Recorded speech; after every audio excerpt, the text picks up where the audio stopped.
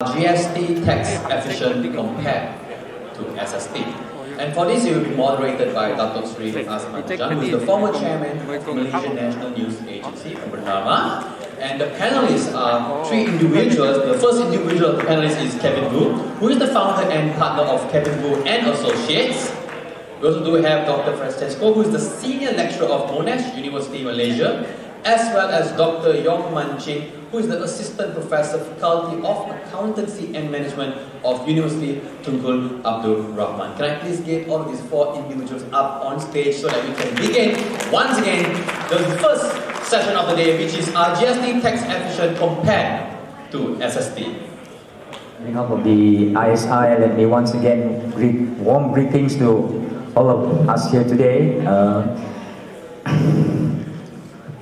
since the uh, speakers have been introduced by the, uh, the MC uh, today, our topic, uh, this slight correction, is GST more effective than SST? Uh, GST is goods and services tax. SST, as we all know, is sales and services tax. To refresh our memory, uh, GST was withdrawn on 1st of June 2018, two weeks after the Pakatan Harapan government came to power. It's just a way of uh, implementing uh, its manifesto, which is to abolish GST. And then one, when uh, Mr. Lim Guan Eng was the finance minister, he came to Bernama and I was still the chairman at that time. I asked him, uh, why did you uh, abolish GST? He said, we won the election primarily due to our promise to abolish GST. So that's very, very political as well, no? So uh, let me welcome uh, once again our panel speakers. Uh, we're delighted and honored to have you uh, on this important event and look forward to a great dialogue on this topic. Uh, let us go straight to the first panelist, Mr. Kevin Wu, founder and partner of Kevin Wu and Associates. He's with a, he's a, legal uh, background and tax well. Thank you very much. Please. Yeah. Yep. Hi. Uh, good morning, everyone. My name is Kevin, uh, founder and partner of Kevin Wu Associates, a full-service law firm based in KL. Um, the first question is uh, whether GST or SST, which is more preferable? I'm well aware that there are a lot of uh, people from the tax department offices here and some policymakers here. So um, I think it's a very tricky question to answer that I'm not even sure that experts really know the answer. Um, because when GST was repealed and uh, SST was reintroduced, we need to bear in mind what's the main. It's question. Actually, we have your eight minutes of your introduction. Intro, no, this is not a question yet, but. Uh, the presentation, eight minutes. Sorry, I thought About you were my-. Yeah, presentation. Each of us will have uh, eight, eight minutes of presentation. Okay. not, not answering questions. Okay, yeah. okay, a bit about myself, yes. Um, yeah, uh, partner uh, at Camille Associates, a full service law firm based in Kuala Lumpur. Uh, my background is I was previously uh, practicing at Skrine, uh, one of the largest law firms in Malaysia, primarily in corporate advisory. So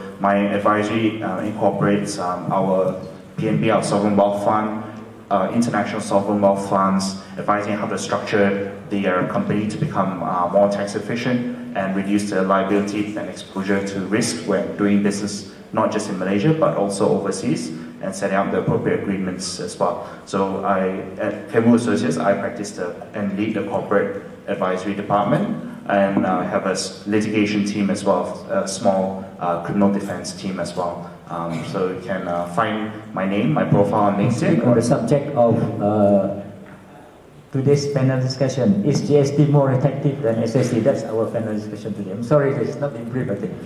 Yeah, yeah. Is GST more, according to the topic, I'm just referring to the topic, is GST more effective or efficient than SST? That's the topic for panel discussion Yeah, today. yeah, correct. Yeah, yeah. Yeah. So, so you want me to answer the question? Right, right, right. I was sorry. I apologize. I wasn't uh, brief. So, um, as, as I think uh, right honorable uh, moderators mentioned, um, GST was introduced in 2015, but shortly had a very short history and was repealed um, and replaced with the SST. Um, just an overall brief introduction. Um, SST is, uh, as most of the um, attendees here are familiar, SST is a very narrow based, uh, based on specific industries, um, uh, depending on uh, what falls within the SST system. Um, it's, a, it's a single tier tax system, whereas uh, GST is a lot more broad-based tax system. And that's a more commonly uh, used system, uh, not just uh, in, in, in, in, Asia, but also around the world.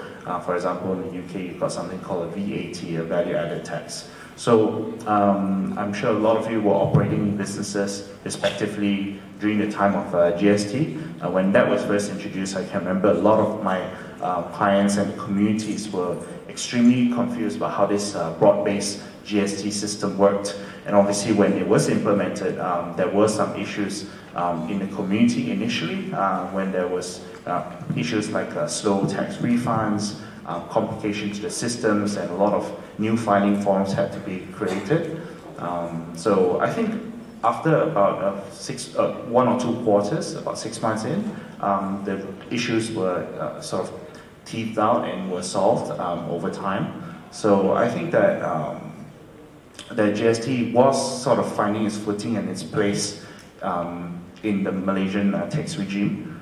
Um, ultimately, I think it just took some time to, to for, for businesses and the communities to get used to. Um, yeah, so when SST was repealed and replaced, um, I think that um, some people were happy, some were not. I think for a lot of consumers who voted in for a particular government because of the system, maybe perhaps didn't fully understand or comprehend um, how that worked behind the scenes because ultimately the numbers and what, what consumers care about is the cost of living, right? And we don't want to be to, to have a multi-tiered tax system to increase our cost of living because especially in this time, let's say if the new government was to devise a new tax policy when cost of living is already increasing so quickly, the last thing we need is another inefficient uh, uh, tax system that, that will increase the cost of a lot of uh, goods and services in our country, which will hinder our um, economic recovery and uh, growth out of, um, out of COVID. So um, for any top tax policymakers out there, I think that um, it's important to get tax revenue from, um, especially through this massive GST SST system, the indirect tax is such a massive contribution. I was looking at some of the statistics yesterday and it's like almost equivalent to our petroleum tax in the country and it's one of our biggest sort of source of income for the, for the government to uh, fund our services in this country. So um, not saying no to um, to being taxed, but definitely we need to look at the efficiency of the system to ensure that we can generate um, more revenue for the government, but in a fair way that is for consumers will not, you know, see the price of um, common goods like uh, meat or produce or vegetable increase by 10, 20%.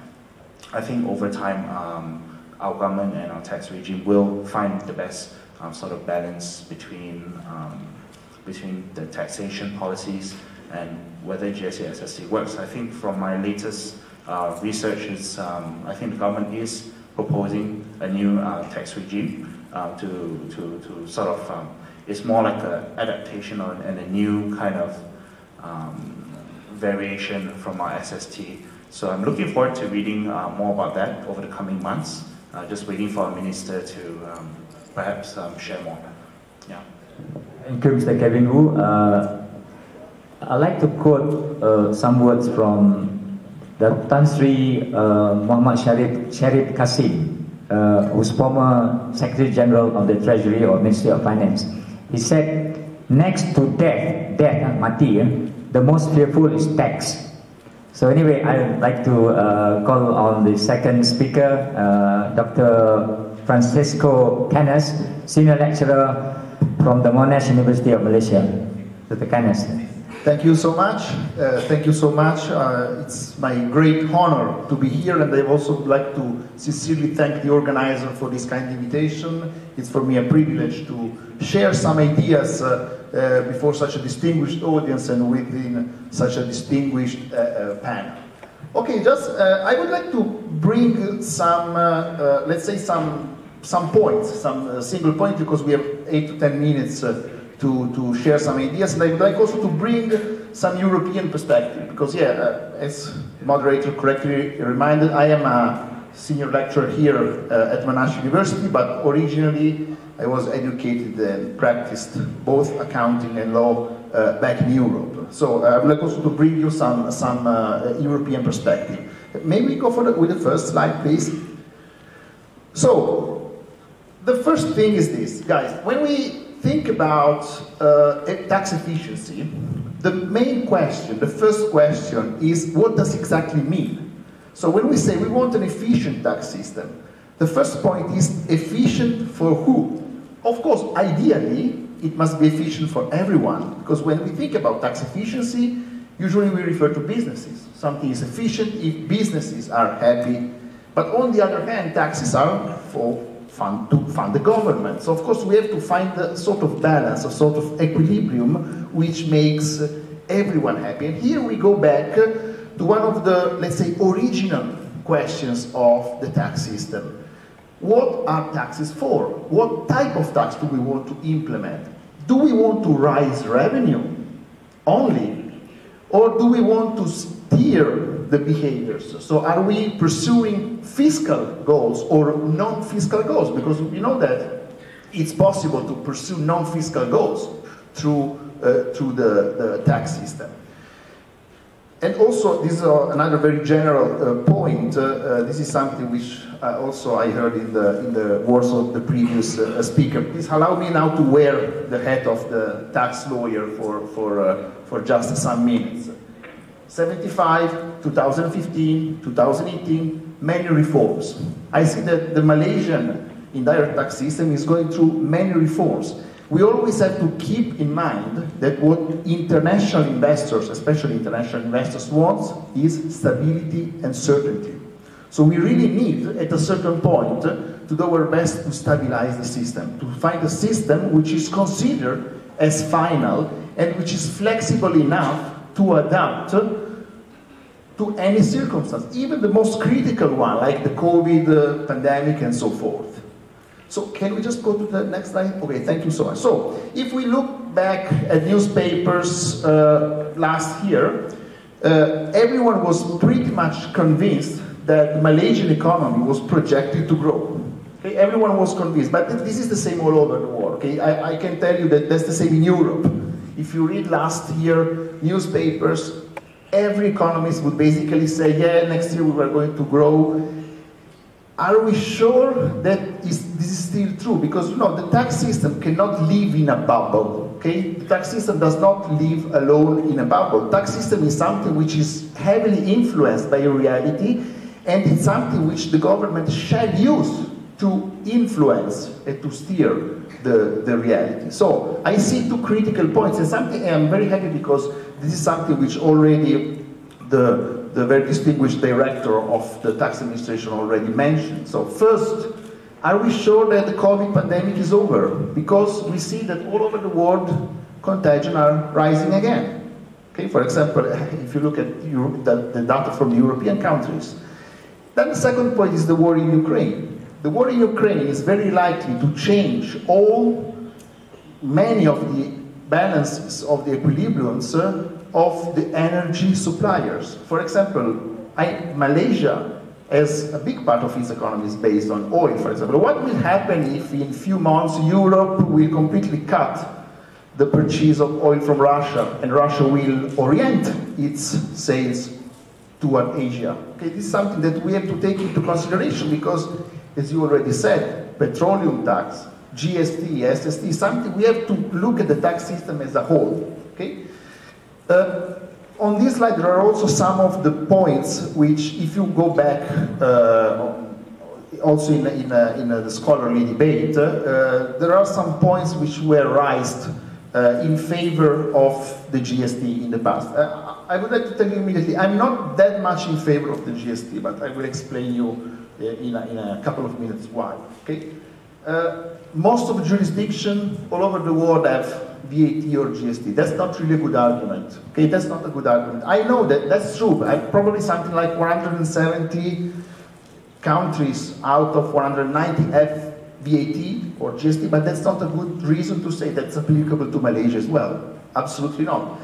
We know that also, for example, the Gulf countries are implementing GST or VAT similar uh, system. But that's not really a good reason to say that this may happen also in Malaysia, that this should happen also in Malaysia.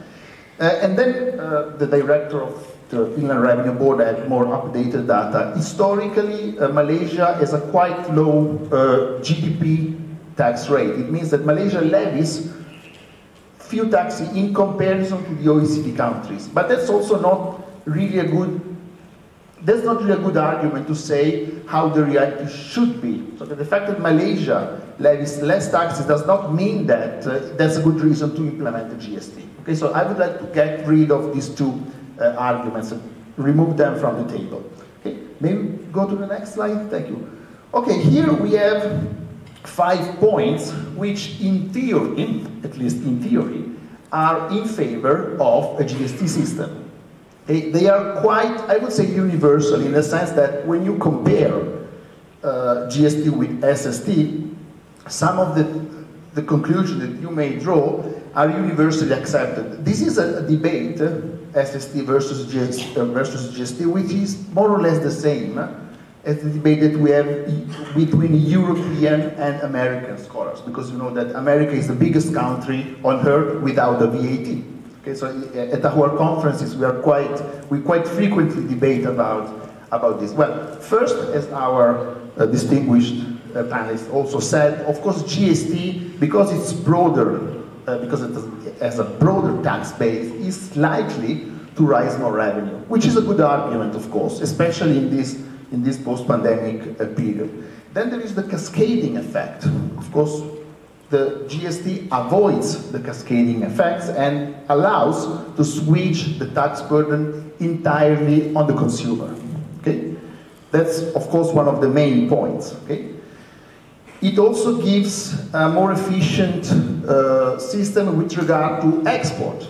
Uh, with the GST, it's much easier to have export which, are, which is effectively zero rated. While we know that with drawbacks of the GST is not always the case. There may be cases in which the export is not in fact uh, exempted or uh, zero rated. Then of course the GST reduces the risk of transfer pricing because being levied all over the, all over the, uh, the production chain, it closes the possibility for the businesses to relocate according to uh, transfer pricing uh, studies. And in general, it's considered to be more transparent. Okay? Please allow me also on this uh, point. I also have to say I, I disagree you know, to a certain extent because of, it's true that it's more transparent than GST, but on the other hand, uh, we all know that when we are consumer, okay, we don't really care about what part of the price, we don't really care about the price structure. What we care about is the final price that we pay. So it's not really, I don't really think that's a good argument. Well, for the first four arguments, I think they are, they are valuable, okay? Uh, maybe go to the next slide.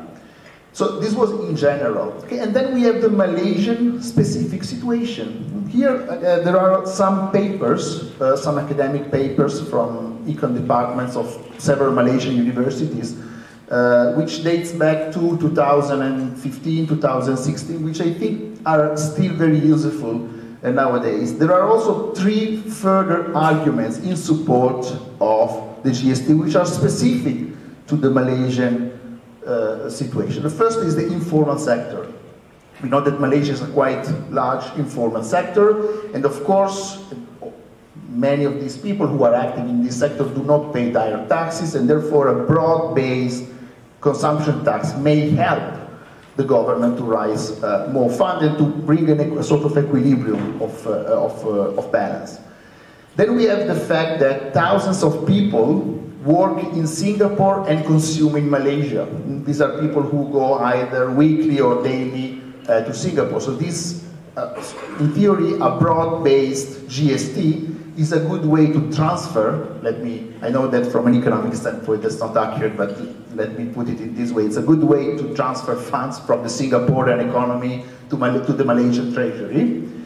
And then of course we are waiting for millions of tourists, hopefully in the next year, in the next years. So all these tourists are going to consume here. So that's a very good reason.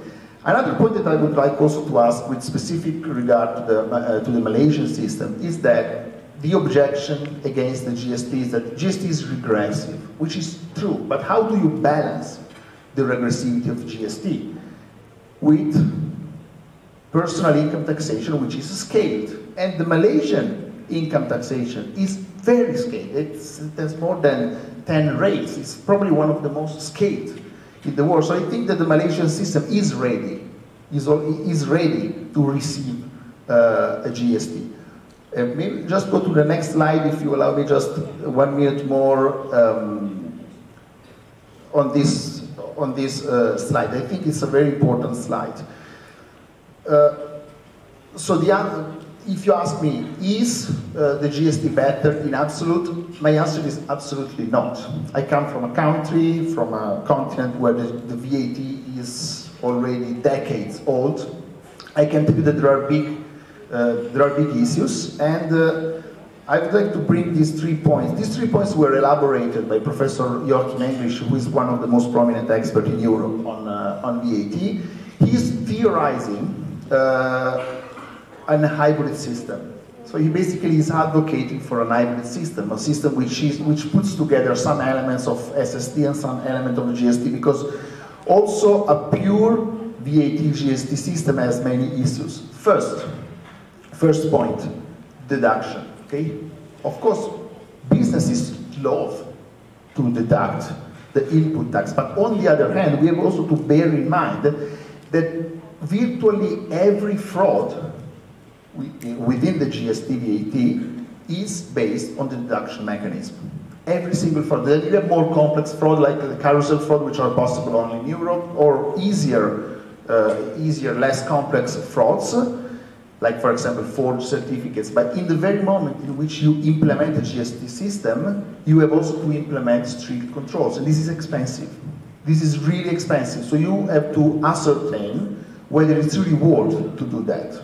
First point. Second, it's more exposed to revenue loss, especially in a time of crisis, like this one, okay? So what happens if, for example, a business purchases many, many goods and then is not able to retail, to sell them? Okay? This triggers GST effects. You have to refund. You have to refund. You have to manage the refunds. And the, the treasury earns zero out of that. Okay? So if we expect, for example, many companies to bankrupt in the next few years, it may be an option to wait some months before implementing a GST because this is really going to, to be a, a cost. And then finally, last but not least, the neutrality. Okay? Uh, this is very much from a Euro, and with this I close, uh, it's very much from a European perspective. In Europe, the rate is very high because the rates of VAT are 20, 23, 25%, so it's quite a lot. This has a strong financial impact on the whole production chain. Because of course, even if you get the refund, but it's not immediate, okay? You have to, to pay and then wait uh, for, for this uh, amount of money to come back in a certain way. So the point is, in this, uh, are we sure that in this moment where we are trying to relaunch the economy, uh, our economy after the pandemic, is it really the right moment to implement such an expensive tax? Because GST is going to be an, ex an expensive tax. Okay, I thank you very much for, for this. very much, uh, Dr. Cannas. Uh, now may I invite uh, our third panelist, Dr. Yong Mun Ching who is an assistant professor, faculty of accountancy and management at the University Tunku Abdul Rahman or UTAR. Uh, please, Dr. Yong. A very good morning to you. I'm very happy to be here. Uh, as you know, I initially I came from an auditing background, PwC Malaysia, and I spent some years in New York doing financial due diligence. Then thereafter, I joined the corporate world, and finally now I'm in the academic world. So academic world has brought a different perspective uh, to what I have learned so far. But I think it's also very good because, because of my background in the corporate world, I'm able to understand business taxpayers' compliance issues and compliance challenges. So when I'm speaking to you, I'm also speaking as a voice for the business taxpayers in Malaysia. Okay, so let me start. Uh, next slide, please. We're going to start with the presentation. So basically, there are four main areas of my presentation. And uh, we, we first start with the overview of the federal government revenue, okay, from 2007 to 2022. Next slide, please. I believe um, it is very important for us to understand the perspective of the composition of the federal government revenue over a period of time because many people think that GST is going to solve all your issues, all the critical budget deficit that you have in the country for the past 50 years. So this is just an overview for you to understand that, uh, for all of us to understand that uh, in terms of the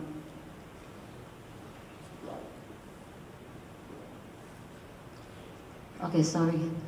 Technical issue. So in terms of the composition of the federal government revenue, from 2007 until uh, estimate 2022, right, there have been a focus on uh, personal income tax as well as corporate tax.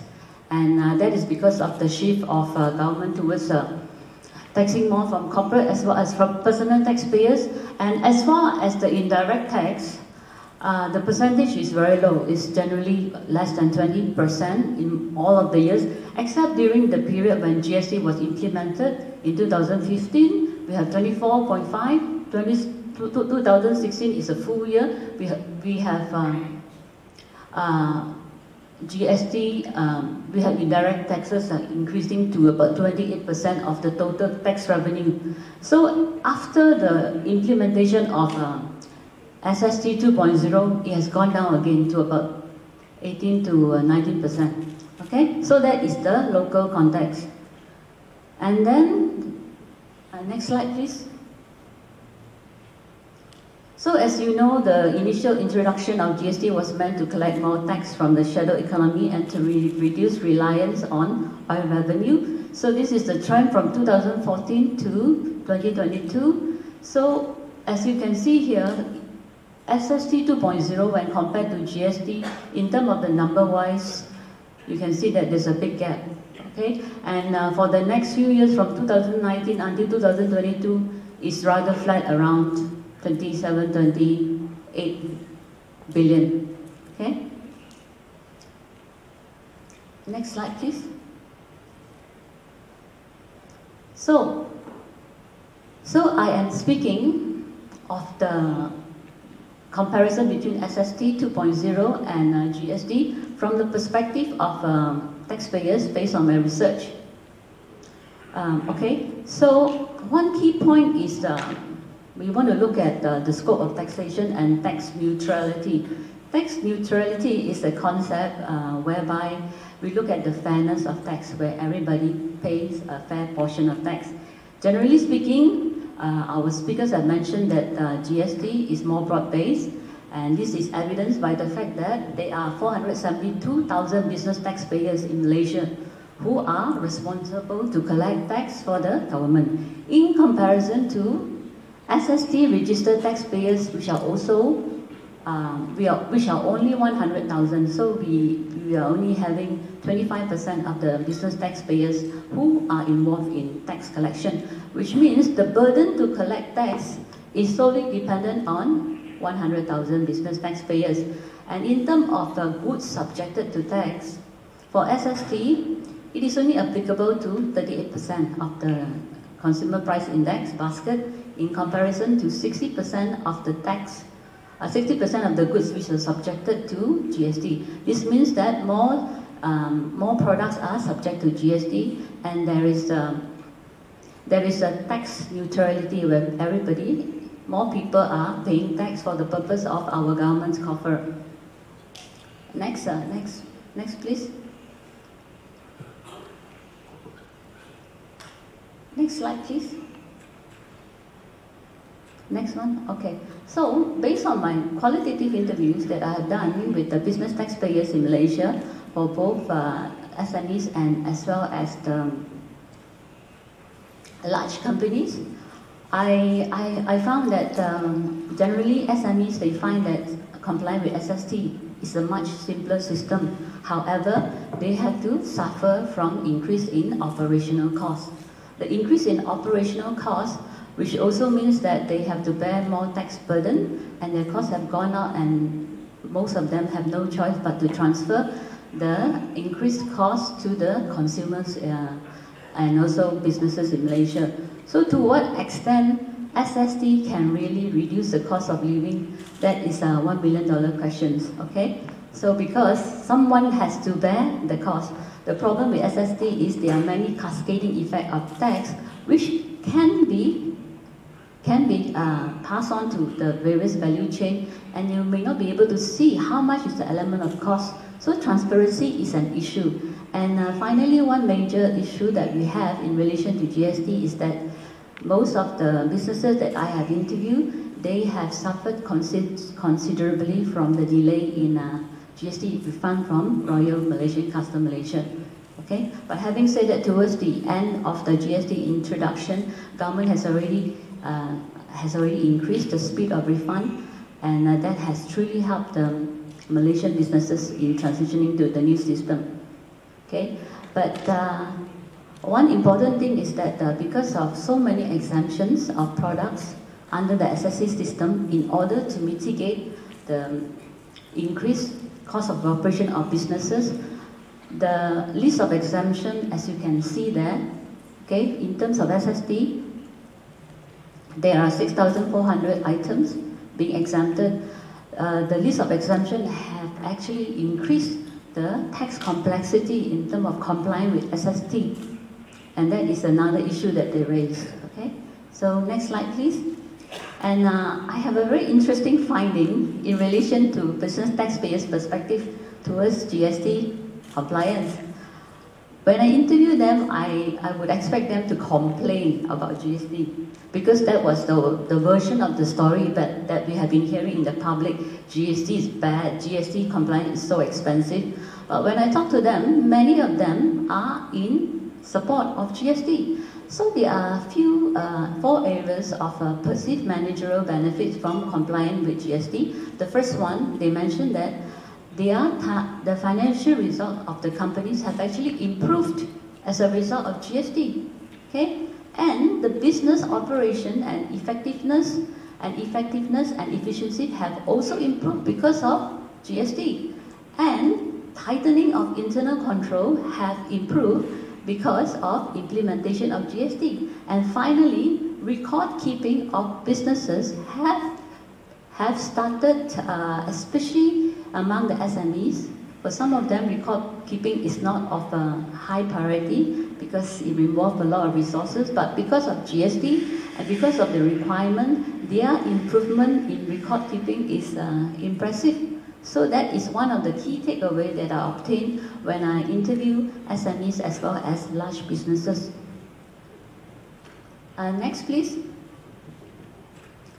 So to, to give you a glimpse of what they say about uh, timely reporting of financial results, the first one is one person mentioned that we became more disciplined with the GST.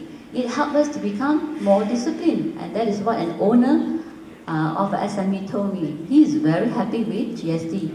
And uh, he also mentioned that uh, thanks to Royal Malaysian Custom, we are forced to be more disciplined. Okay? And uh, there's another snapshot, another snapshot about the efficiency and effectiveness in business. So this person mentioned that in terms of invoicing customer, it is on time now. So the discipline is there, and suppliers also invoice, invoices on time the business become more efficient.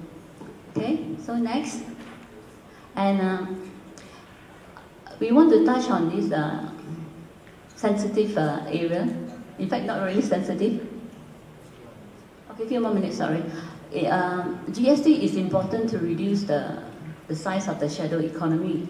Based on my research that I have done in 2018, I, I have evidence to demonstrate that uh, shadow economies have actually reduced as a result of GST implementation. And with the reduction of shadow economy, there will be higher tax revenue for the government of Malaysia because uh, the shadow economy and the businesses will surface out of nowhere in order to claim input tax. And as a result, the overall direct tax collection from personal income tax and corporate tax will also increase as a spillover from GST implementation. To give you an indication, uh, shadow economy is about 21% of the GDP of Malaysia between 2010 and 2019. Next slide, please. Okay, so this is one evidence from uh, my interviewee. She mentioned that uh, uh, Businesses owned by Indonesians in Chowkit market have closed down as a result of GST implementation way back in 2015. And for her, she is grateful and she's happy that uh, this thing is happening because the business owner who are doing business legally now they are protected from the onslaught and unfair competition imposed by the shadow economy. Next slide, please. So we have been talking about the tax to GDP, and now we move on to show you a slide that uh, Malaysia tax to GDP was 2018 in 2019, and it is the third lowest after Indonesia and Laos. So our tax collection is really low. Okay, then next slide please. And here is showing you that in terms of personal income tax and consumption tax, for Malaysia, we are also under collected comparatively with the upper middle income income countries. If you look at the personal tax, we are second lowest. Okay, only 2.2% of GDP came from personal tax. And uh, the more interesting part is consumption tax collection as a percentage of GDP. Malaysia is uh, second lowest comparatively, only 2.5% in comparison to all our neighboring countries which are poorer. And uh, the average of uh, upper middle income in middle income countries is about 7.5% of the GDP. We are only 2.5%, which means there's ample space for us to collect more from consumption tax. Next slide, please. So finally, my conclusion is that um, it is time for GST. The timing, I leave it to the politician uh, to handle this. And I just want to mention that uh, Malaysia is not alone in repealing the GST. Um, there are five other countries that have done so, Grenada, Malta, Vietnam, Ghana and Belize. They have repealed and later they reintroduced GST in their tax system. And Malaysia is also similar to the situation in Malta, whereby the politicians promised to repeal the system if they were elected in power. So, seems like those who have repealed GST, they have made a U-turn, and it is my hope that um, we will go back to GST. I think it's a much fairer tax, more transparent tax, where everyone should pay tax, okay? When you consume, you should pay. Thank you, Dr. Yong. Uh, in fact, the government is thinking about reintroducing GST. And I think with so many side good side effects that you mentioned, I think they will be uh, reinstated. Uh, I, will, I will have one question each for our panelists before I open questions to the floor uh, Mr. Kevin Wu, uh, it's reported that only about 10% of working population in Malaysia are paying tax, whereas compared to across the causeway in Singapore, almost every worker pays tax.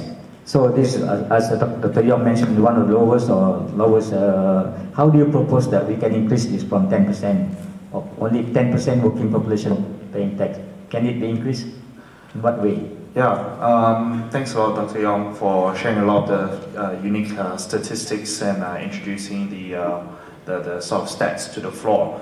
Um, well, it's a good and bad thing, right? Uh, the good thing is that we have a lot of room to improve. So when we start from one, the second lowest, means that there's a lot of opportunities for us to, for the government to collect more tax. But albeit, um, I know there are some businessmen in here, uh, not just talking about like, how to increase tax for government, but it needs to be fair for the businesses and sustainable for the businesses as well because ultimately tax is not you know the consumers and businesses are not just a piggy bank for the government right? We need to obviously balance that out so businesses can have more retained earnings for future uh, investment and growth so um, just want to tone it down a bit. It's not just about uh, collecting, collecting, collecting. Um, but I think that it's a sort of a good dilemma to be in right now uh, in Malaysia.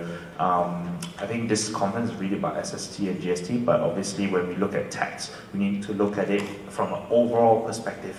um, biggest contribution is um, corporate taxes. All the big companies, the big names that come here, the, the Petronases, the Darby's, uh, those are massive contributors to the economy. When oil prices go up or down, that sort of determines how much tax revenue we'll have that year. For example, palm oil prices um, during the COVID pandemic uh, skyrocketed. So that would have an impact on, um, on, on our, our collections at the end of the year. So we're very, very still dependent on a, a few uh, core industries in our economy. Let's uh, not forget about the, the corporates that are contributing so much to the economy, the personal income taxes that each and every one of us in this room are contributing to, although that's tiered um, in, a, in a way. Uh, that, that is a bit more straightforward for the government to sort of um, collect because it's based on your um, salary, it's based on your EPF contributions. I think that's not too much we can do there. Um, uh, I, and going back to this GST and SST, is it more efficient? I am of the view that um, GST and consumers, I've spoken to a lot of my uh, clients who have um, tax queries, and actually a lot of us don't mind paying a bit more taxes enough, if as long as it's fair. And the government can really um, collect the taxes and invest in the right um, things, like the right infrastructure, and be accountable to the tax. So that means when the government invests our tax money into the right things like new schools, new bridges, new roads, new highways, new uh, public transport system, that money will eventually come back to our economy, and then we would um, will eventually come back to the economy, and then we would see growth. That means that your revenues, our revenues as businesses or as potentially employees would increase over time as well. We want to see that. We don't want to be in a spiral where, where we're paying more taxes, but revenues not increasing, everything's stagnant, or yeah. even, in fact, uh, cost of living is going up, but sal- salaries are stagnant. Then, of course, if the government's trying to implement more tax, the general population uh, would not be so cooperative or agreeable to vote in that government that wants to increase taxes. So I think a lot of it comes to trust. Um, that the government can build that trust. Thank yeah. you very much, yeah. Dr. Wu. Um, Mr. Kevin Wu, sorry. Uh, question for Dr. Ken, Kenneth. If the government wants to reinstate the GST to replace it with the present, to replace the present SST, you mentioned that, what should it do to gratify the public? You know, it's a political question, really. Thank you so much. Thank you so much for this question. I think it's a very stimulating one. It's a bit more of a political uh, question in a certain way. Uh, let me tell you a little story about that. Uh, in the 90s, in the late 90s, Italy at a certain point had reorganized its uh, tax system.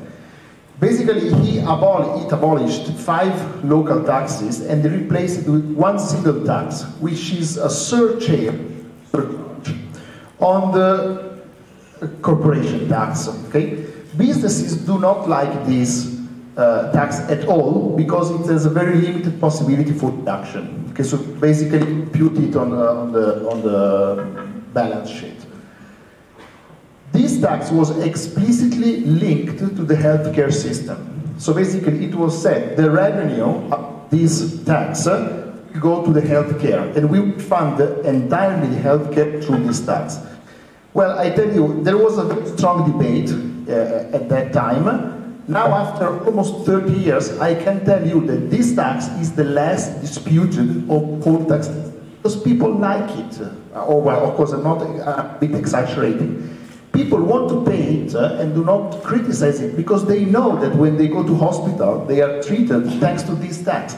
So my, I, my idea would be, if you want to increase taxes, anyway, GST, it's often important to explain to the citizens and to the taxpayer what exactly you are funding with that. So you must be able, I think the government should be able to tell to the taxpayers, okay, we will levy you a higher tax, but with that tax, we will find this project. So the people must be able to see how this tax is changing their life in a positive way. Okay, I think that's the, the, solution. The last question um, to Dr. Yong. What would happen to Malaysia if the government continues to implement the SST system? Just a short one. Yeah, actually my slides have already uh, highlighted uh, the key points. What will happen if SST continues? So I just want to say that uh, if we continue to, to, be in this situation, uh, our government's uh, sustainable tax collection will be will be affected because uh, the IRB now is focusing on taxing from the shadow economy. How do we do it? They are everywhere and they are nowhere. So GST is, is a solution because GST has very long audit trail and you can trace the transaction, the flows of transaction from one company to another company. It's very difficult for shadow economy to hide their transaction. And uh, my, my recent interview with a logistic company told me that, uh, you know, with, uh, with GST, he has a lot more new business taxpayers. Now that SST has happened, he has a, lost a lot of businesses because now they're going back to the shadow economy. With that, I think we should go back to GST. Thank you. Thank you, thank you. Perhaps we have one, one, two questions from the floor. We have, how many minutes we have? Ten minutes? Okay. A few questions from the floor, please. Q&A time. Of course, I know tax very technical matters, but over you are tax people, I think. A very taxing session. Any question uh, before we end the session? Um, I think all are satisfied. Uh, no, you don't add anything? Okay, uh, let us give a big hand to all our speakers up. Please, yeah. The question from uh, our gentleman here. I just want to you to address My. under GST, tax are paid by the supplier as a supplier.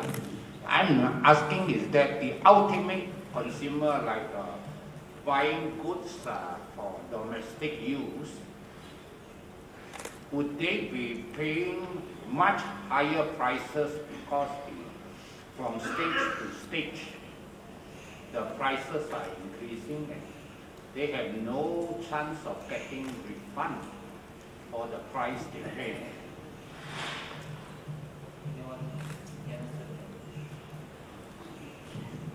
So your question will be? Yeah.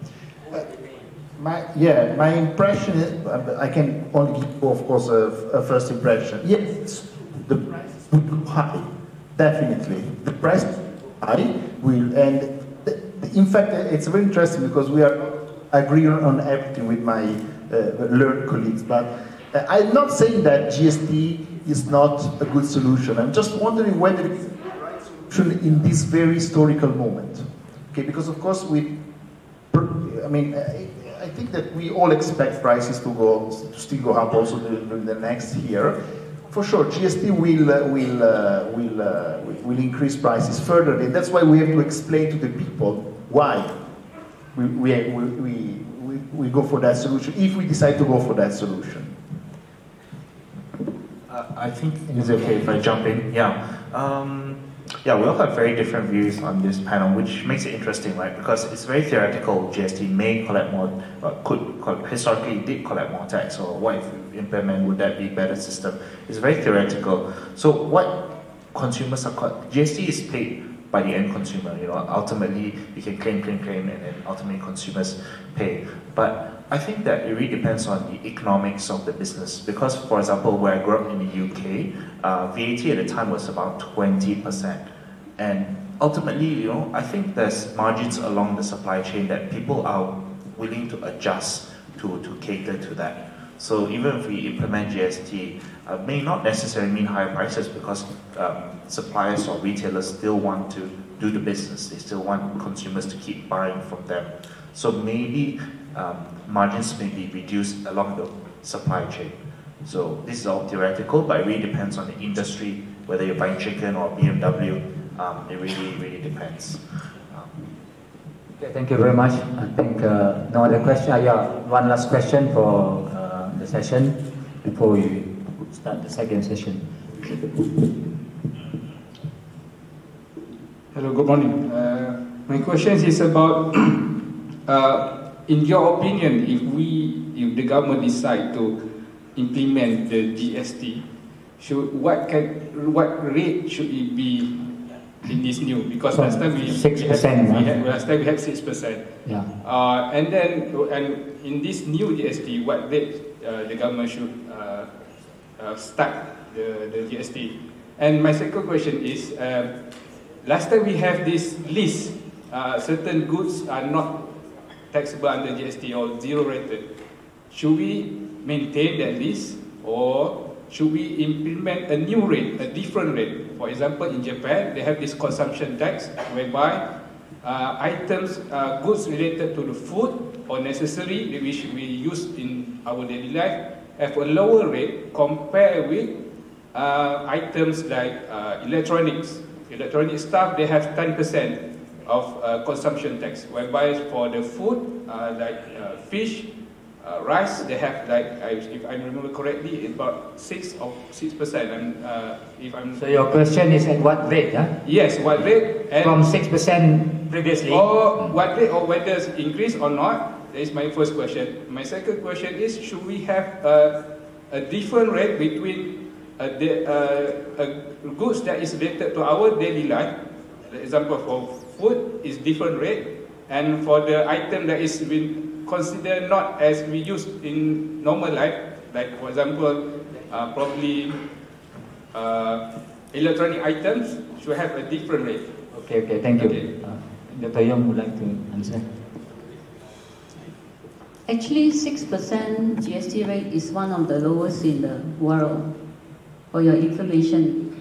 But uh, if you introduce less than 6%, then when you compare against the cost of uh, compliance in terms of administration of the tax, right, the government would roughly be break. Anything less than, uh, less than 6%, the cost of compliance is much more than the revenue being taken. So that was the rationale being, uh, being, being used for 6%. But however, having said that, given that uh, the prices are increasing and there's a lot of pressures to contain the price, perhaps we can start at the lower rate at 3% as what has been done by the Singapore government so that uh, the public will be will know will be will be more at ease with GST implementation at a minimal rate, and then you can increase it gradually over uh, over time, as what has been done by the Singapore government. 3% Singapore. Yeah, yeah. So the second thing is uh, you're talking about um, using various strategies for different different rate for different type of uh, products, and um, actually the more rate that you use, right, the more complex it will be, and the more it will be subject to abuses by the businesses or by the businesses. So it is it, it is better to use a flat rate or maybe special exemption. For in, in the case of uh, GST, uh, there are already 12,000 items being exempted from GST because they are considered essential goods and services. So then we have another, if you're going to add in a multiple level of rate, right, I think it's going to be very complex in terms of uh, administration. Yeah. Thank you very much. So we end the session. Thank you very much to our panelists, uh, Mr. Kevin Wu, Dr. Francesco Cannas, and Dr. Yong Mun Ching. Let's give them a big hand.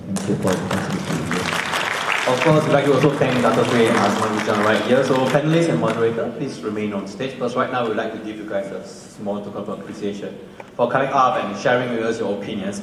And for this, I'd like to invite up on stage Dr. Sri Samsun Baring bin Mohammed Jamil to present this token of appreciation over to the panelists as well as the moderators.